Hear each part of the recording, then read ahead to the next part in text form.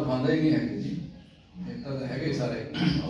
ਦਾ ਗੱਲ ਉਹ ਜ਼ਰੂਰਤ ਵਾਲ ਨਾਲ ਕਰਨੀ ਹਿੰਮਤ ਕਰਨ ਦੀ ਗੱਲ ਨਾ ਲੋਕਾਂ ਦੀ ਗੱਲ ਕਰਨ ਵਾਲਾ ਕੋਈ ਨਹੀਂ।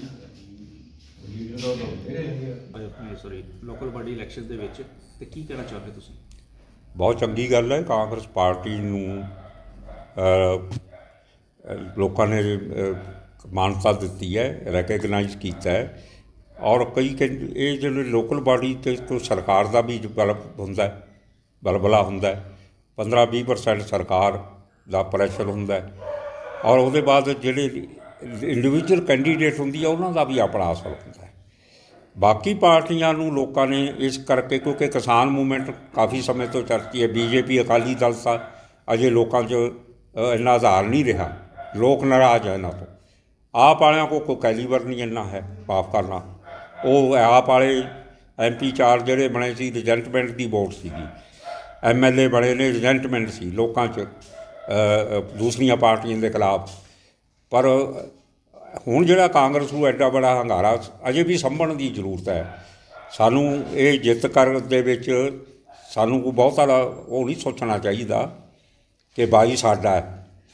ਕਿਉਂਕਿ ਇਸ਼ੂ ਹੁੰਦੇ ਨੇ ਲੋਕਲ ਬਾਡੀ ਦੇ ਇਸ਼ੂ ਹੋਰ ਹੁੰਦੇ ਨੇ ਸਟੇਟ ਦੇ ਹੋਰ ਹੁੰਦੇ ਨੇ ਅਸੈਂਬਲੀ ਪਾਰਲੀਮੈਂਟ ਦੇ ਹੋਰ ਇਸ਼ੂ ਹੁੰਦੇ ਨੇ। ਤੇ ਦੁੱਲੋ ਸਾਹਿਬ ਔਰ ਜਿੱਦਾਂ ਕੱਲ ਕੈਪਟਨ ਸਾਹਿਬ ਨੂੰ ਪ੍ਰਧਾਨ ਵਾਸਤੇ ਜਾਂ ਅਗਲੇ ਆਉਣ ਵਾਲੇ ਇਲੈਕਸ਼ਨਾਂ ਦੇ ਚੀਫ ਬਣਾ ਕੇ ਉਹ ਪੇਸ਼ ਕੀਤਾ ਗਿਆ ਸੁਨੀਲ ਜਾਖੜ ਜੀ ਵੱਲੋਂ। ਤੁਸੀਂ ਕੀ ਸਮਝਦੇ ਹੋ? ਤੁਹਾਨੂੰ ਨਹੀਂ ਲੱਗਦਾ ਵੀ ਪੁਰਾਣੇ ਜਿਹੜੇ ਕਾਂਗਰਸੀ ਤਜਰਬੇਕਾਰ ਲੀਡਰ ਨੇ ਉਹਨਾਂ ਨੂੰ ਪਾਸੇ ਕਿਹਾ ਜਾ ਰਿਹਾ ਗੱਲ ਇਹ ਜੀ, ਦੇਖੋ ਪਾਰਟੀ ਨੂੰ ਅੱਗੇ ਲੀਡ ਕਿਹਨੇ ਦੇਣੀ ਹੈ ਇਹ ਤਾਂ ਹਾਈ ਕਮਾਂਡ ਨੇ ਦੇਖਣਾ ਠੀਕ ਹੈ? ਜਿੱਤ ਹੈ ਜਿੱਤ ਹਾਰ ਦਾ ਸਿਹਰਾ ਜਿਹੜਾ ਵੀ ਹੁੰਦਾ ਹੈ ਇਨ ਪੋਜੀਸ਼ਨ ਚਾਹੇ ਪ੍ਰੈਜ਼ੀਡੈਂਟ ਹੈ ਚਾਹੇ ਮੁੱਖ ਮੰਤਰੀ ਹੈ, ਉਹਨੂੰ ਜਾਂਦਾ ਹੈ। ਜਦ ਬੁਰਵਾ ਜਦ ਹਾਰ ਹੁੰਦੀ ਆ, ਉਦੋਂ ਕੋਈ ਐਕਸੈਪਟ ਨਹੀਂ ਕਰਦਾ। ਫਿਰ ਇੱਕ ਦੂਏ ਤੇ ਬਲੇਮ ਕਰਦੇ ਆ, ਵੀ ਉਹਦੇ ਕਰਕੇ ਹਾਰ ਗਏ, ਫਲਾਣੇ ਨੇ ਹਰਾਤੇ। ਇਸ ਕਰਕੇ ਹਾਲਾਤ ਇਹੋ ਜਿਹੇ ਪੰਜਾਬ ਦੇ ਵਿੱਚ ਪੋਲੀਟੀਕਲ ਜਿਹੜੀ ਐਟਮੋਸਫੀਅਰ ਆ ਜੇ ਕਲੀਅਰ ਨਹੀਂ ਹੈ। ਲੋਕਲ ਬਾਡੀ ਜਿੱਤ ਕੇ ਸਾਨੂੰ ਨਵੇਸਲੇ ਹੋਣ ਦੀ ਜ਼ਰੂਰਤ ਨਹੀਂ, ਅਸੀਂ 17 ਚ ਜੋ ਵਾਅਦੇ ਕਰਕੇ ਆਏ ਆ ਲੋਕਾਂ ਨਾਲ। ਅਨਾ ਤਲਵੰਡੀ ਸਾਬੋ ਜਿੱਥੇ ਚੜਾ ਤਖਤ ਹੈ ਪੰਜਵਾਂ ਤਖਤ ਹੈ ਤਖਤ ਦੇ ਉੱਤੇ ਸੌਹਾਂ ਖਾਧੀਆਂ ਤੀਆਂ। ਉਹ ਸੌਹਾਂ ਖਾ ਕੇ ਜਿਹੜੇ ਅਜੇ ਲੋਕਾਂ ਦੇ ਨਾਲ ਅਸੀਂ ਵਾਅਦੇ ਕੀਤੇ ਨੇ, ਮੈਨੀਫੈਸਟੋ ਦੇ ਵਿੱਚ, ਚਲੂ ਕਾਸਟਾਂ ਨਾਲ ਨਸ਼ਾ ਬੰਦ ਕਰਾਉਣਾ ਔਰ ਗੈਂਗਸਟਰ ਸਿਸਟਮ ਖਤਮ ਕਰਨਾ, ਇਹ ਕਈ ਏਜੰਡੇ ਨੇ ਜਿਹੜੇ ਪੂਰੇ ਨਹੀਂ ਹੋ ਸਕੇ ਅਜੇ ਤੱਕ। ਔਰ ਖਾਸ ਤੌਰ ਤੇ ਗਰੀਬਾਂ ਦਾ। ਗਰੀਬਾਂ ਦੇ ਨਾਲ ਕਰਜ਼ੇ ਮਾਫ ਹੋਇਆ ਸ਼ਡਿਊਲ ਕਾਸਟਾਂ ਦਾ ਤਾਂ ਸਕੈਂਡਲ ਹੀ ਬਹੁਤ ਹੈ। 10 ਲੱਖ ਬੱਚਾ ਜਿਹੜਾ ਹੈ ਸ਼ਡਿਊਲ ਕਾਸਟ। ਵਿੱਦਿਆ ਨਹੀਂ ਲੈ ਸਕਿਆ ਪਿਛਲੇ 5 ਸਾਲਾਂ 'ਚ। ਹਰ ਸਾਲ 100 1 ਲੱਖ 25 ਹਜ਼ਾਰ ਸ਼ਡਿਊਲ ਕਾਸਟ ਬੱਚਾ।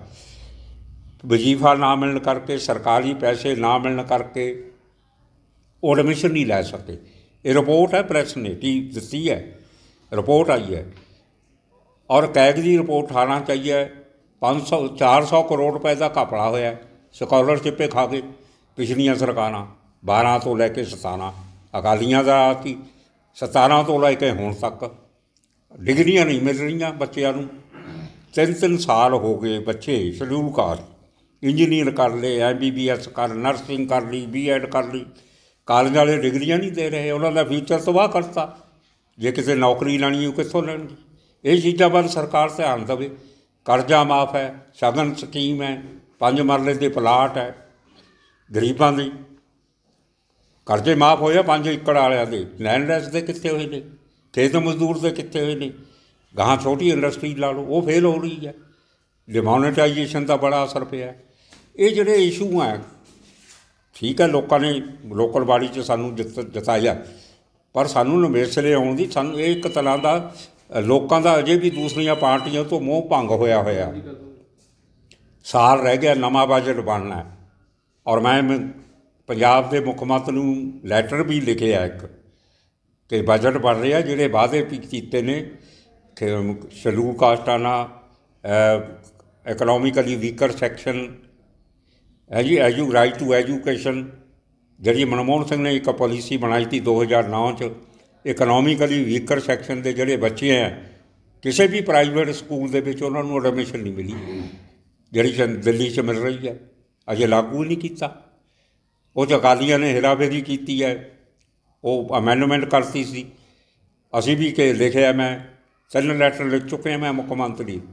ਵੀ ਪੰਜਾਬ ਦੇ ਜਿਹੜੇ ਪ੍ਰਾਈਵੇਟ ਸਕੂਲ ਆ ਐਡਮਿਸ਼ਨ ਨਹੀਂ ਦੇ ਰਹੇ ਇਕਨੋਮੀ ਕਾਸਟ ਬੇਸ ਤੇ ਛੱਡੋ। ਇਕਨੋਮਿਕਲ ਵੀਕਰ ਸੈਕਸ਼ਨ 25% ਕਾਨੂੰਨ ਹੈ, ਪਰ ਲਾਗੂ ਨਹੀਂ ਕਰਾਉਂਦਾ।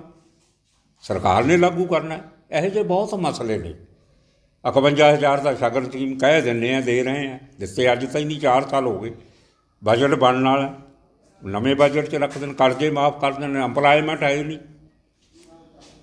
ਐਮਪਲਾਇਮੈਂਟ ਨਹੀਂ ਦਿੱਤੀ। ਬੈਂਕਾਂ ਲੁੱਟੀਆਂ ਜਾ ਰਹੀਆਂ, ਉਧਰ ਕੋਈ ਧਿਆਨ ਨਹੀਂ 124 134 ਬੰਦੇ ਮਰੇ ਤਿੰਨ ਸਾਲ 'ਚ, ਜ਼ਹਿਰੀਲੀ ਸ਼ਰਾਬ ਪੀ ਕੇ। ਕਿਸੇ ਦੇ ਖਿਲਾਫ ਕੋਈ ਕੇਸ ਨਹੀਂ ਬਣਾਇਆ। ਕੋਈ ਡਿਸਟਿਲਰੀ ਵਾਲਾ ਨਹੀਂ ਫੜਿਆ ਨੌ ਡਿਸਟਿਲਰੀਆਂ ਫੜੀਆਂ ਨੇ। ਪਾਕ ਹੋ ਕੇ ਨਿਕਲ, ਲੋਕਾਂ 'ਚ ਵਾਹ ਵਾਹ ਤਾਂ ਹੋਊਗੀ ਜੇ ਕੋਈ ਕਰਕੇ ਦਿਖਾਵਾਂਗੇ। ਭਾਈ ਦਾ ਬਹੁਤ ਬੜਾ ਚੈਲੰਜ ਹੈ ਉਹ ਚੈਲੰਜ ਸਮੇਂ ਸਿਰ ਤੇ ਲੋਕ ਦੱਸਣਗੇ ਇਸ ਲਈ ਜੋ ਵਾਅਦੇ ਕੀਤੇ ਨੇ ਸੌਹਾਂ ਖਾ ਕੇ ਕੀਤੇ ਪੂਰੇ ਕਰੇ ਸਰਕਾਰ ਖਾਸ ਤੌਰ ਤੇ ਮੁੱਖ ਮੰਤਰੀ ਸਾਹਿਬ Subscribe to our YouTube channel News DNN by clicking the bell icon. Don't forget to like, comment, and share.